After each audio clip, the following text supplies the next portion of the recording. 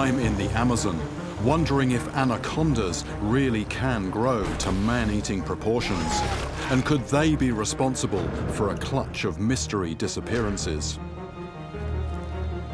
I've got a 12-foot anaconda cornered on a soccer field, and I'm trying to catch it with my bare hands.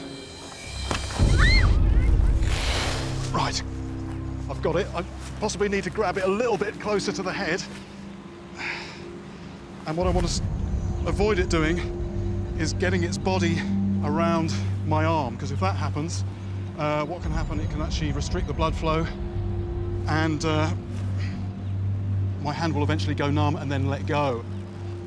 I can see the teeth on the mouth. They're like the barbs on a fish hook. They're pointing backwards.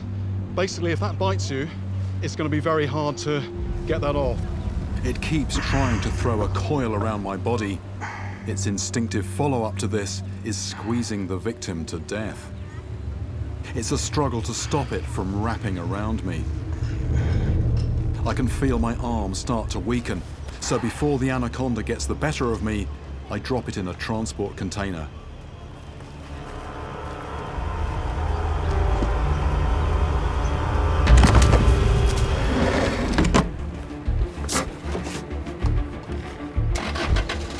Will be taken far away from here and released into the jungle.